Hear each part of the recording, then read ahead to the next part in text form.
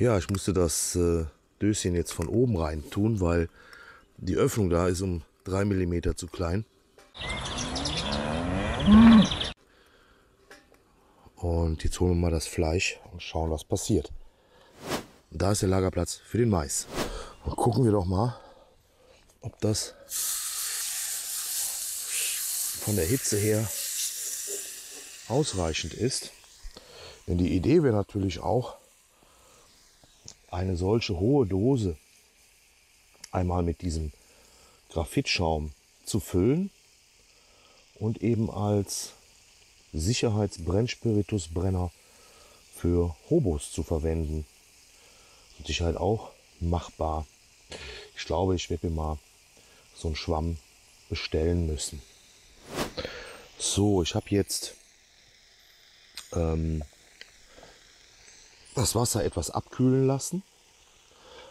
Ich erkläre euch gleich warum, weil in der Bedienungsanleitung steht halt drin, dass man 375 Milliliter Wasser zum Kochen bringen soll, dann vom Herd nimmt, 125 Milliliter kaltes Wasser dazu gibt, dadurch senkt sich die Temperatur und dann dieses Pulver einrührt. Jetzt haben wir hier genau die Hälfte. Also ich nehme 250 Milliliter Wasser und lasse es aufkochen und warte dann aber ab. So, dass es etwas kühler wird. Das ersetzt dann halt das Zugießen von kaltem Wasser. Und wie ihr seht, zack, habe ich hier mein Kartoffelpüree. Mmh, lecker. Und jetzt kann ich hierzu noch, das ist dann die Idee, das hier geben. Und das muss ich mal ein bisschen anders machen.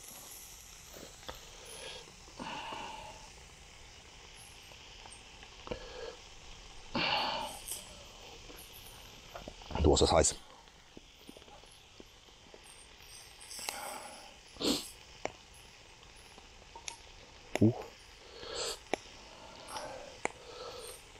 Ich, ich kann das natürlich auch noch würzen. Und dazu hat mir die Steffi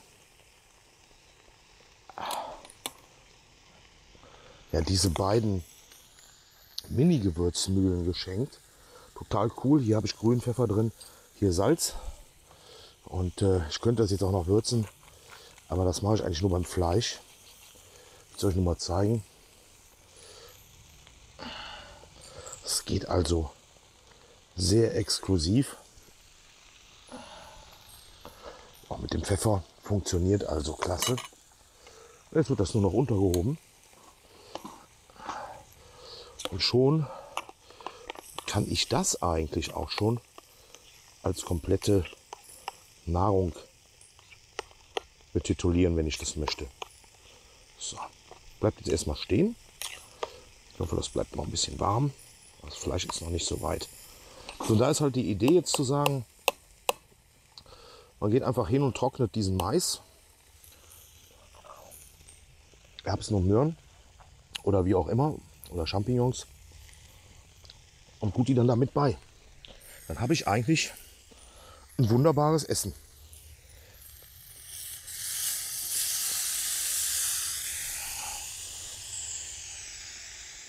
Ja, und schaut tatsächlich diese kleine Dose, das ist ja dieses Format hier, mit Brennspiritus gefüllt, ersetzt wunderbar den Trangia. Hätte ich nicht erwartet, aber ist natürlich eine schöne Sache. Ne?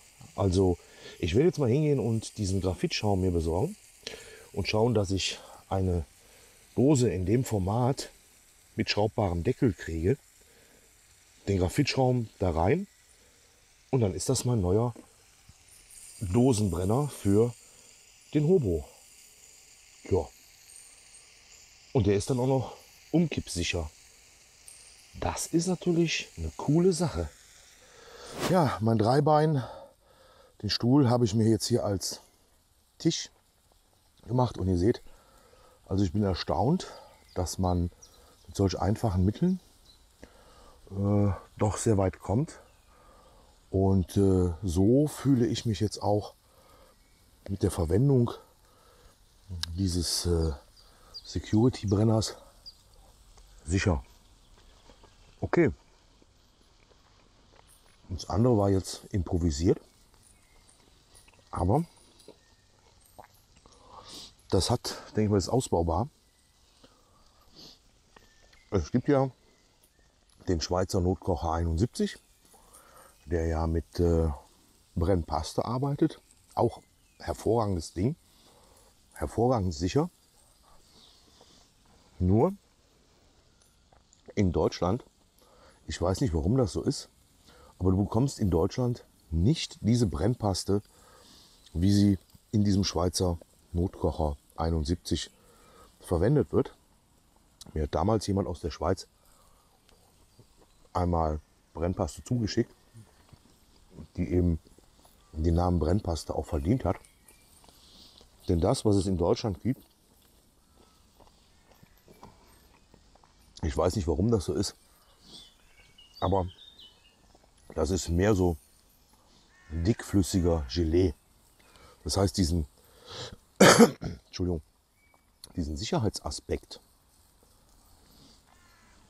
also beim Umfallen nicht ausläuft, den hast du bei diesem Zeug überhaupt nicht. Kann ich nicht nachvollziehen, warum das so ist. Ähm, keine Ahnung. Also ich werde jetzt nächste Woche auf jeden Fall eins machen, dass ich schaue, dass ich so einen Graphitfilz mir bestelle. In so eine kleine Dose einbaue. Mm. Und mir dann anschaue, wie safe das Ganze ist. Ob der auch tatsächlich in der Lage ist, das zurückzuhalten, was er aufgenommen hat als Schwamm.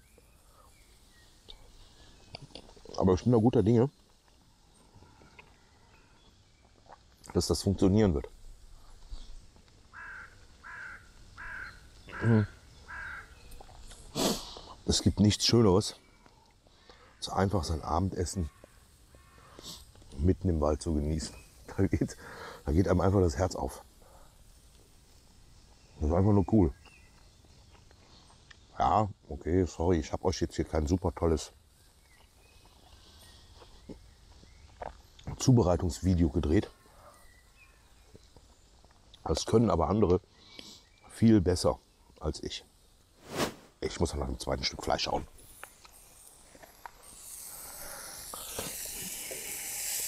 Nein.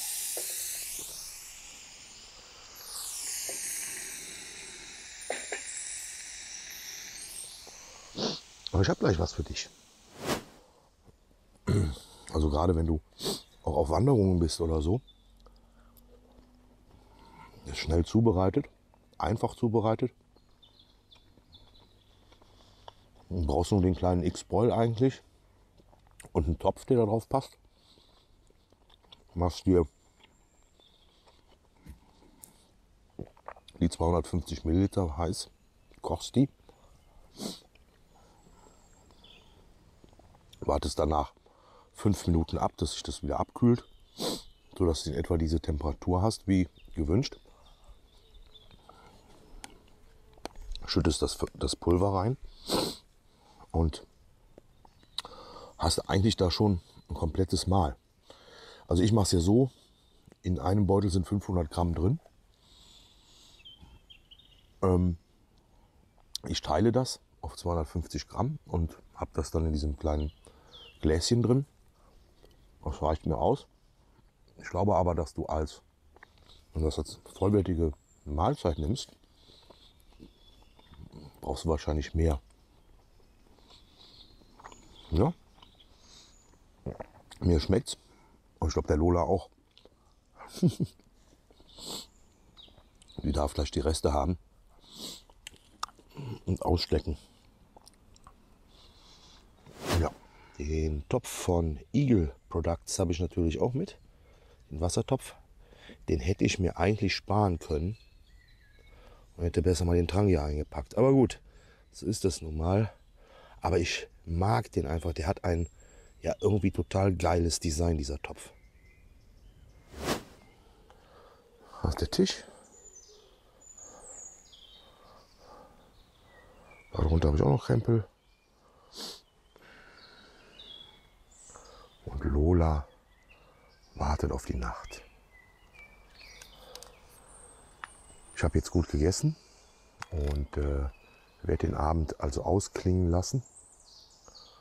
Werde mich noch ein bisschen hier hinpflanzen und der Natur lauschen. Das ist so schön. Und dabei geht noch die Sonne unter. Ich weiß nicht, ob man das auf der Kamera gut sehen kann. Ups. So. Ich bin total zerstochen. Also da muss ich mir noch was einfallen lassen, dass ich in Zukunft auf solche Dinge achte und mitnehme. Ich bin ein bisschen überstürzt aufgebrochen heute. Es ist relativ spät geworden. Ich wollte eigentlich schon heute Mittag hier sein. Aber gut, es gibt halt Dinge, die sind halt so, wie sie sind. Ne? Kann man nicht ändern. Ja.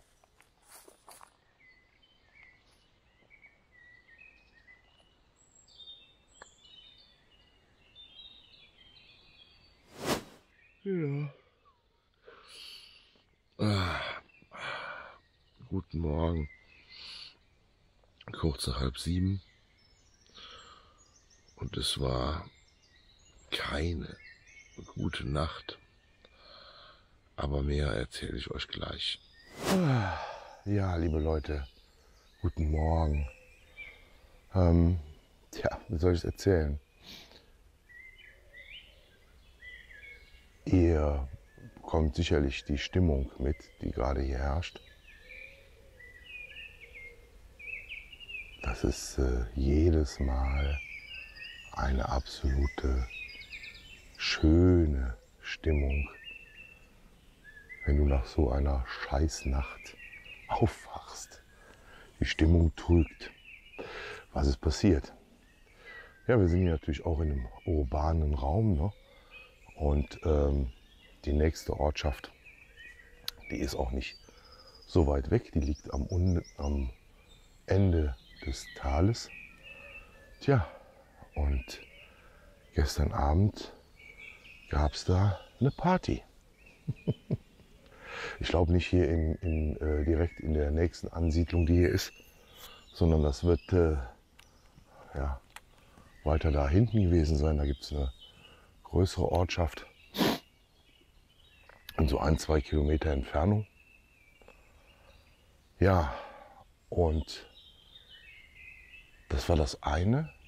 Du hörtest also die ganze Nacht bis halb fünf immer einen wummernden Bass. Nicht sehr laut, weil ist ja recht weit weg. Aber, boah Leute, ich konnte nicht schlafen. Und das andere war die Landwirtschaft. Die Landwirte, die haben bei dem guten Wetter halt Heu gemacht. Ne? Und äh, die fuhren dann also die ganze Zeit, die ganze Nacht mit ihren Transportern das Heu von den Feldern. Und das konntest du also hören, diese riesen Traktoren. Es war tatsächlich für die Verhältnisse hier ungewöhnlich laut. Und so hatte ich keine ruhige Nacht. Ich bin also kaum eingepennt, bin immer wieder wach geworden, habe mich gewälzt, weil einfach die Geräuschkulisse sehr laut war. Und äh, bin jetzt also so richtig durch. Ne? Ja. Ich werde mir jetzt ein Käffchen machen. Dann langsam zusammenräumen. Das Ganze hier noch genießen. Dann geht es nach Hause. Sind jetzt kurz vor sieben. Ich denke mal, dass ich so gegen neun dann zu Hause sein werde. Jetzt einmal unter die Dusche und dann werde ich mich wirklich noch für zwei, drei Stündchen mal hinlegen, weil ich komme mir vor, als hätte ich die Nacht durchgemacht. Ja, das sind halt Sachen, ähm, wenn du hier im tiefsten Brandenburg bist oder irgendwo im tiefsten Sauerland oder halt da, wo die Bevölkerungsdichte halt geringer ist, dann wird dir sowas kaum passieren. Aber hier ist es durchaus möglich. Es ist das erste Mal, dass es so eine massive Störung gab. Ja, solche Dinge passieren. Seid mir nicht böse, dass ich jetzt einfach das hier abbreche. Ich wollte ja noch ein bisschen länger hier sein, aber ich fühle mich so neben der Spur, dass ich jetzt einfach erstmal nach Hause gefahren werde und äh, ja, schauen muss, dass ich wieder fit bin. Morgen ist Montag und spätestens da muss er wieder fit sein. Ja, das war der erste Overnighter im umgebauten Camp. Tja, manchmal kommt es halt anders, als man denkt. In diesem Sinne, viel Spaß im Wald und auf der Flur. Respektiert die Natur. Bis dann. Bye bye. Euer Dietmar. Ciao.